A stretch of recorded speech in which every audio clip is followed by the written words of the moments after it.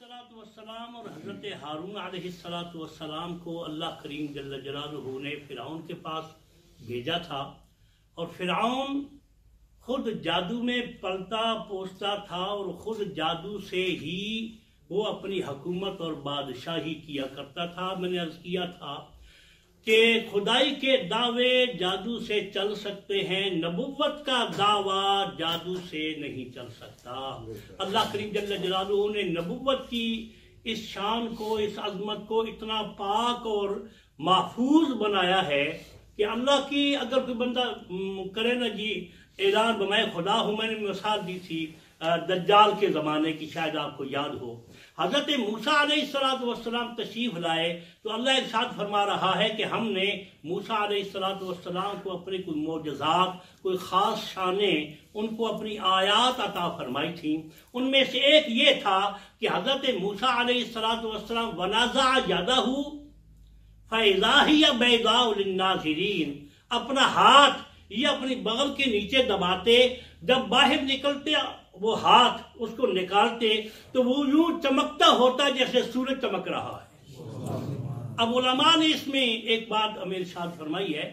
وہ فرماتے ہیں کہ نبی کو رب العالمین جل جلالہ جب بناتا ہے، پیدا کرتا ہے، تو اس کو اسی حیثیت سے پیدا کرتا ہے، وہ پیدائش کے لحاظ سے ہی عام لوگوں سے ٹوٹلی ڈیفرنٹ ہوتا ہے۔ یہ جو ہے نا جنہیں جی وہ بھی ہماری مثل ہیں، ہم بھی ان کی مثل ہیں۔ علماء فرماتے ہیں یہ غلط ہے۔ حضرت موسیٰ علیہ السلام ان کے ہاتھ بھی، ان کے پاؤں، ان کی آنکھیں سب کچھ سیم ہی تھا۔ لیکن رب العالمین جل جلالہ نے ان کو یہ شان عطا فرمائی کہ جب وہ اپنے ہاتھ کو یوں یہاں رکھتے ہیں، پھر یہاں سے نکالتے ہیں تو وہ بالکل چمکتا ہوا نظر آتا ہے۔ اس میں سے لائٹ اور روشنی نکلتی ہے۔ علماء فرماتے ہیں کہ دراصل سارے نبیوں کو اللہ نے جب بنایا ہے تو ان کو نور خاص سے بنایا ہے۔ وہ نور خاص بشریت کے لباس میں چھپا ہوا ہے۔ جب خدا چاہتا ہے اپنے نبی سے اس کی حقیقت کو ظاہر کروا دیتا ہے۔ سبحان اللہ۔ حضور نبی کریم صلی اللہ علیہ وآلہ وسلم کی جو نورانیت کی بات ہوتی ہے نا، وہ صرف حضور کی ذات کی نہیں ہے۔ سارے نبی ہاں اس کے لحاظ سے ان کی کیٹاگریز ہیں کہ کس کو کتنے نور کے سٹیٹس پر اللہ نے بنایا تھا۔ تو حضرت موسیٰ علیہ السلام بھی اسی نبوت کے نور سے پیدا ہوئے تھے۔ اب ان کے جسم پر یہ باڈی ہے، یہ جسم ہے، یہ جلد ہے۔ لیکن رب العالمین جل جلالہ جب فرعون کو اور اس کے ماننے والے والوں کو نبوت کی شان دکھانا چاہتا تو یہی ہاتھ اس سے پردہ ہٹ جاتا اور حقیقت نورانیت اس میں سے چھلکنے لگ جاتا۔ اس سے یہ بات جو ہے نا وہ نہیں حضور نور کیسے ہیں؟ اس سے یہ حل ہو جاتا ہے مسئلہ۔ کہ اللہ تبارک و تعالیٰ نے اور انبیاء کرام علیہ والسلام کو رب العالمین جل جلالہ نے وہ نورانیت کبھی کسی کے کسی جسم کے حصے سے ظاہر ہوئی ہر نبی کی زندگی میں، کبھی ان کے جسم کے کسی حصے سے وہ نورانیت ظاہر ہوئی اور کبھی کسی نبی کے کسی جسم سے تاکہ لوگوں کو پتہ چل جائے، ان کا پیدا کرنا میں نے اور طریقے سے رکھا ہے، تمہارا پیدا کرنا اور طریقے سے رکھا ہے۔ تو اگر اس میں مثالیں انبیاء کرام علیہ والسلام کے موجزات کی دی جائیں تو پھر وقت بہت لگ جائے گا۔ یہاں رب العالمین شاد فرما رہا ہے کہ جب حضرت موسیٰ علیہ السلام نے اپنی نبوت کی نشانی دکھائی تو فرعون کہتے ہیں اچھا یہ ایسے کرتے بھی دکھاتے ہو پچھلے درس میں میں نے عرض کیا تھا انہوں نے کہا تھا تم بھی جادو کرتے ہو کیونکہ انہوں نے دیکھا ہی جادو تھا۔ حقیقت دیکھی ہی نہیں تھی جو رب العالمین جل جلالہ کی طرف سے ہوتی ہے۔ اس لیے جس کو وہ دیکھتے تھے، اس کو مان لیتے تھے۔ اب موسیٰ علیہ السلام نے جب اپنا یہ موجزہ دکھایا، وہ کہتا یہ بھی جادو ہے۔ اچھا جی تو تم جادو دکھا رہے ہو ہمیں، تو ہم پھر تمہارا مقابلہ جادو سے ہی کرتے ہیں۔ اللہ فرما رہا ہے اس نے کہا، وقالا فرعون اتونی بکل ساحر علیم۔ علم والے بڑے لکھے، بڑے سمجھدار وہ ماہر قسم کے جادوگر یہاں لے آؤ۔ فرعون نے حکم دیا۔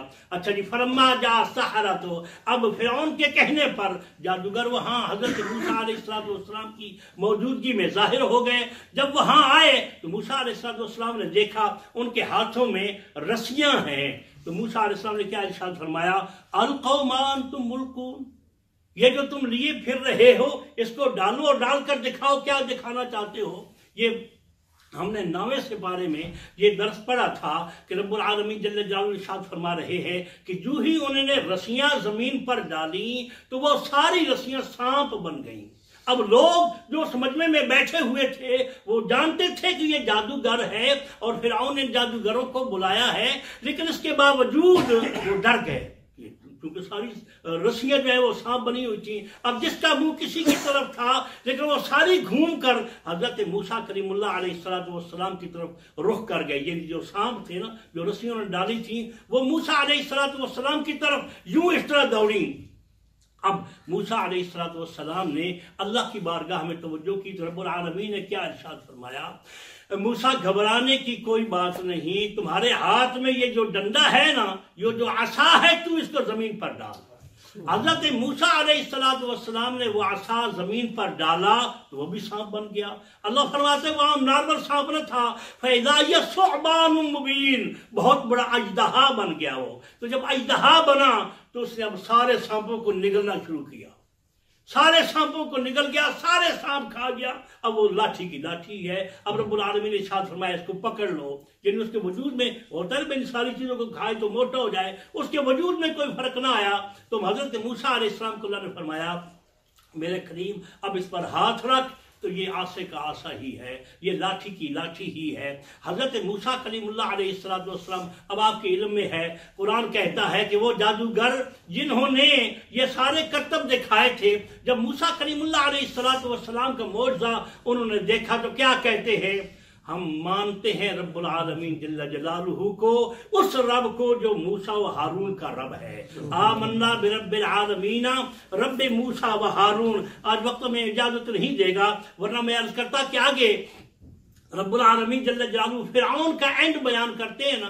تو فرعون کا اینڈ بیان کرنے کے بعد اللہ ارشاد فرمانے جب فرعون غرق ہونے لگا یعنی یہ دیکھیے، وہ ہے جادوگر۔ جنہوں نے موسیٰ کلیم اللہ علیہ السلام کا یہ معجزہ دیکھا تو کہتے ہیں ہم اس رب کو مانتے ہیں جو حضرت موسیٰ علیہ السلام اور ہارون علیہ السلام کا رب ہے۔ اللہ کرام، اللہ کریم نے ان کو انعام یہ عطا فرمایا فرمایا تم نے میرے کلیم اور میرے ہارون کی نسبت والے اس مقام کو بیان کرتے ہوئے میری ربوبیت کا اعلان کیا ہے۔ میں تمہیں جنت میں اعلیٰ مقام عطا کرتا ہوں۔ اچھا یعنی لوگوں کے چکر بڑے بیمان ہیں نا۔ اب ہوا یہ کہ فرعون جب غرق ہونے لگا تو اس نے بھی کلمہ پڑھا اس نے بھی رب کو مانا اور رب پر ایمان لانے کے لیے اس نے کیا کہا؟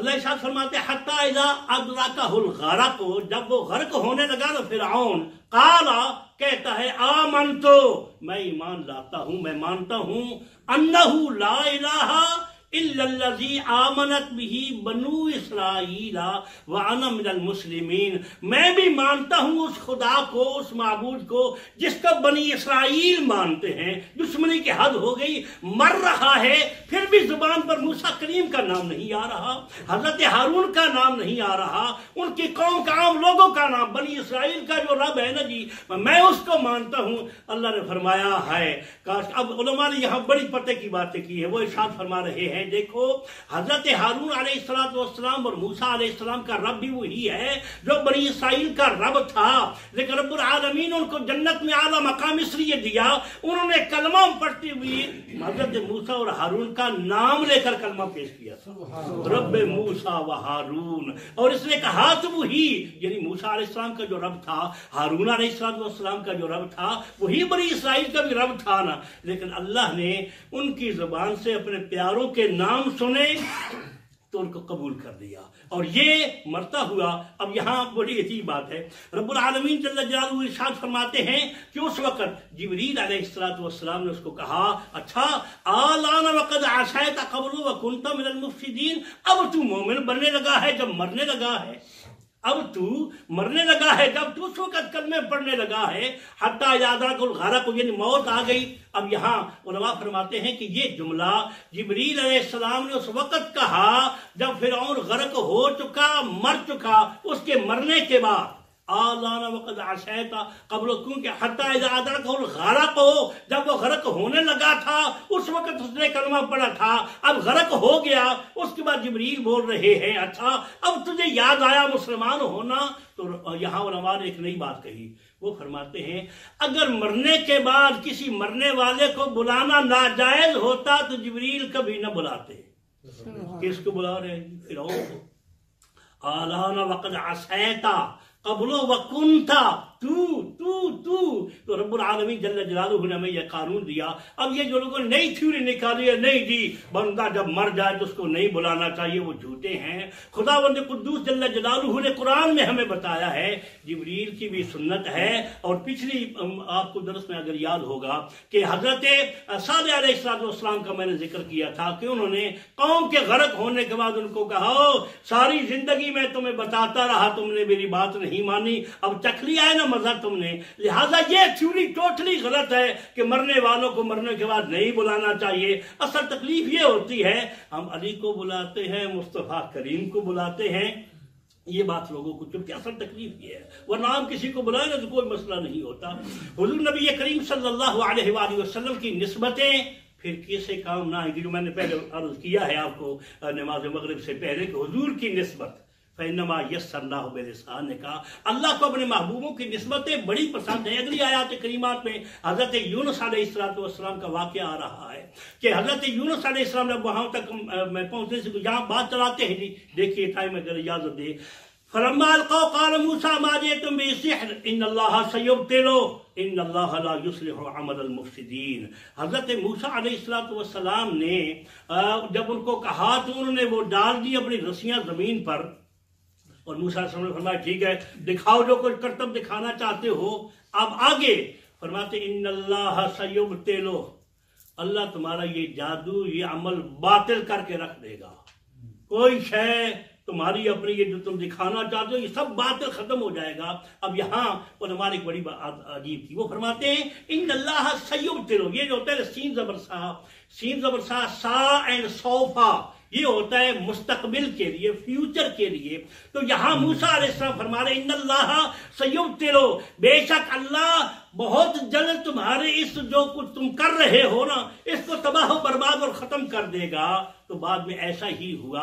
اللہ فرماتے ہیں کہ جس کو میں نبوت دیتا ہوں اس کو فیوچر کے علم کی خبر بھی دے دیا کرتا ہوں۔ ان اللہ سیب تیرو ان اللہ لا يصلح عمل المفسدین ويحق اللہ الحق ولو کرہ المجرمون۔ وہ کہتے ہیں کہ خود جو اپنے معجزے دکھاتے ہیں جو غیب کی باتیں بتاتے ہیں ان کا یقین یہ ہوتا ہے کہتے ہیں ہم کچھ نہیں ہیں جو کچھ ہے ہمارے رب کا ہے۔ وَيُحِقُ اللَّهُ الْحَقَّ بِكَلِمَاتِهِ ولو کرے حل مجرمون اللہ تبارک و تعالی ہمیں اپنے حبیب کریم علیہ السلام والسلام کی عظمتوں کو سمجھنے، قرآن پاک کو کما حق ہو سمجھ کر اس پر عمل کرنے کی توفیق عطا فرمائے۔ انشاءاللہ الحمدللہ حمدا کثیرا طیبا مبارکا الذي ارسل رسوله بالحق بشیرا ونذیرا وداعيا إلى الله بإذنه وسراجا منيرا، والصلاة والسلام على سيد الرسل وخاتم الأنبياء محمد المصطفى صلى الله عليه وآله وسلم. وعلى آله وأصحابه وأزواجه وأهل بيته وعلماء أمته وأولياء ملته أولي البررة التقى والنقى. أما بعد فأعوذ بالله من الشيطان الرجيم. بسم الله الرحمن الرحيم. واتل عليهم نبأ نوح إذ قال لقومه يا قوم إن كان كبر عليكم مقامي وتذكيري بآيات الله. فعلى الله توكلت فاجمعوا أمركم وشركاءكم. ثم لا يكن أمركم عليكم غمة ثم اقضوا إلي ولا تنذرون. فإن توليتم فما سألتكم من أجر. إن أجري إلا على الله وأمرت أن أكون من المسلمين. فكذبوه فنجيناه ومن معه في الفلك وجعلناهم وجعلناهم خلائف وأغرقنا الذين كذبوا بآياتنا. فانظر كيف كان عاقبة المنذرين. ثم بعثنا من بعده رسلا إلى قومهم فجاءوهم بالبينات فما كانوا ليؤمنوا بما كذبوا به من قبل. كذلك نتبع على قلوب المعتدين. صدق الله مولانا العظيم وبلغنا رسوله النبي الأمي الكريم حضرات محترم، سورہ یونس شریف کا درس شروع ہے، آیت نمبر اکہتر سے آیت نمبر چوہتر تک آج میں نے آپ کے سامنے تلاوت کی ہے۔ اللہ نے اپنے محبوب نبی صلی اللہ علیہ وآلہ وسلم کی بڑی خوبصورت نئی عظمتوں کا یہاں بیان شروع فرمایا اور اس سے پہلے حضور نبی کریم صلی اللہ علیہ وآلہ وسلم کی عظمت و مقام دوسرے پہلوؤں سے بیان ہوتا رہا۔ سورہ یونس، یہ پہلے میں تقریباً ہر درس میں عرض کرتا ہوں کہ یہ مکی صورت ہے، مکہ مکرمہ میں نازل ہوئی۔ اور اس کے زیادہ تر مخاطب ہیں وہ ہیں مکہ کے مشرقین انہیں سمجھایا جاتا رہا، شرک نہ کرو، اللہ ایک ہے، اس کی عبادت کرو، اس کے سوا اور کوئی خدا نہیں۔ مختلف مثالیں دے دے کر ان کو سمجھایا جاتا رہا۔ کبھی نبی کریم صلی اللہ علیہ وآلہ وسلم پر ان کی طرف سے ہونے والی زیادتی کا ذکر فرمایا جاتا، پھر حضور کو تسلیاں دی جاتی۔ پھر دوسرے اہل ایمان کو ارشاد فرمایا جاتا کہ تم اللہ کے فضل و کرم سے اللہ کریم جل جلالہ کی رحمت میں ہو۔ اللہ نے تمہیں اپنا قربتا فرمایا، تمہیں ولایت نصیب فرمائی۔ پھر بشارتیں دیں۔ اور بشارتوں کے بارے میں پہلے میں عرض کر چکا ہوں، آج بعض یہاں سے شروع ہو رہی ہے۔ اللہ ارشاد فرما رہے ہیں محبوب صلی اللہ علیہ وآلہ وسلم، اب یہ لوگ آپ کی باتوں سے ماننے کے لیے تو تیار کوئی نہیں ہے۔ آپ نے کوئی بھی ایسی چیز چھوڑی نہیں ہے جس کو ان کے سامنے بیان نہ کیا ہو، جس کو بات سمجھنے میں آسانی ہو سکتی ہو۔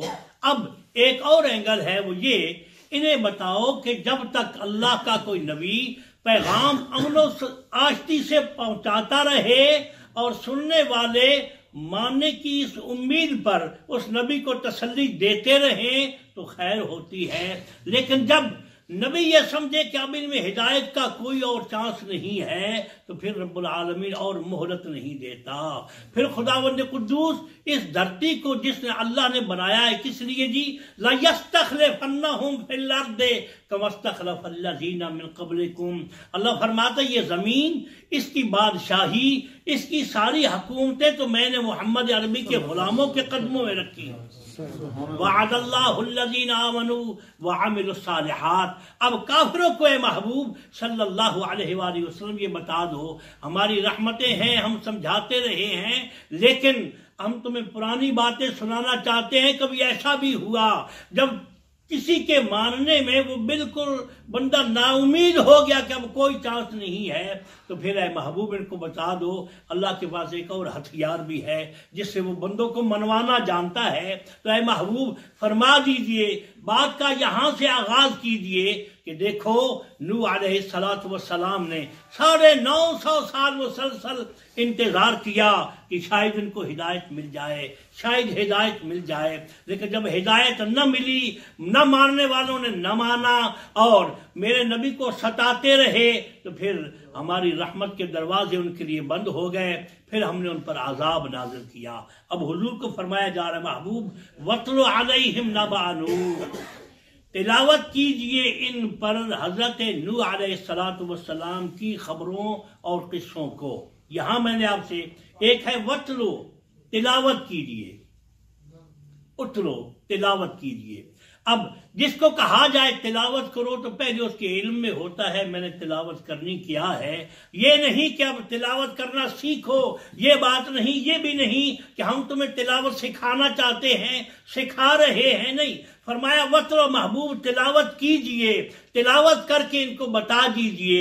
یہاں مفسرین نے ارشاد فرمایا، اللہ کریم جل جلالہ نے نبی کریم علیہ السلام کی عظمت کا یہ پہلو ہمیں بتایا کہ اب یہ جو قرآن نازل ہو رہا ہے یہ بار بار ایک آیت، پھر دو، تین، چار، چلتے چلتے یہ قرآن مکمل جو نزول کا سلسلہ ہے، یہ مخلوق کے لیے ہے، بندوں کے لیے ہے، باقی عام انسانوں کے لیے ہے، امتیوں کے لیے ہے۔ رہ گئے حضور کی ذات تو اللہ نے قرآن سارے کا سارا پہلے ہی اپنے حبیب کو عطا فرما دیا حضور کو سینے کو پہلے ہی اس سے معمبر متحر کر دیا تھا۔